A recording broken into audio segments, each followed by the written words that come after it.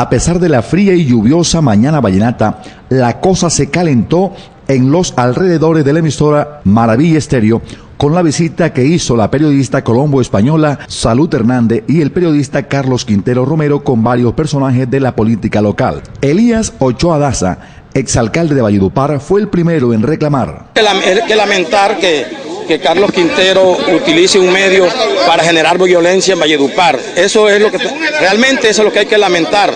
Eh, lo demás, pues sabemos que, eso tiene unos fines políticos y la comunidad tiene que tener en cuenta es esto. Mire, estas personas que apoyan candidatos y que el, esquema que utilizan es generar desinformación, porque la misma, cuando ya enfrentamos a, a, Salud Hernández me pide excusa, ella misma me dice, no, eh, vamos a revisar las cosas.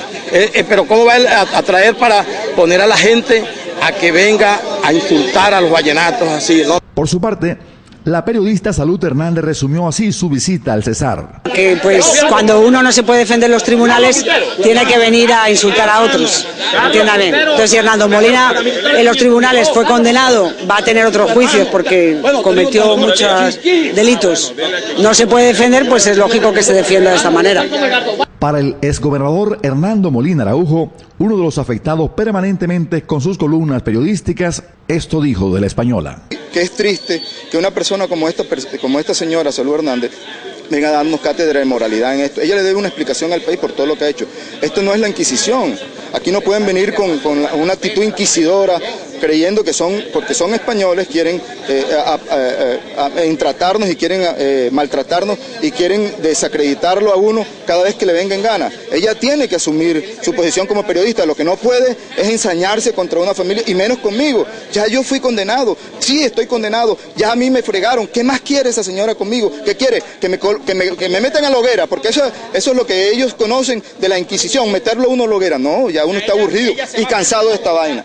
Y Carlos Quintero Romero quiso refrescar el tema resumiéndolo así. Aquí no ha pasado nada, aquí simplemente llegó la señora este, Salud Hernández, que viene en unas visitas por todo el país mirando cómo están las cuestiones electorales y estuvo en nuestra mesa de trabajo haciendo una entrevista contándonos cómo les había ido, cómo eh, estaba observando ella el proceso electoral, la corrupción, la compra de votos, y se metió con algunos eh, eh, personajes de Valledupar y vinieron a responderle a ella y a hacer el derecho a réplica.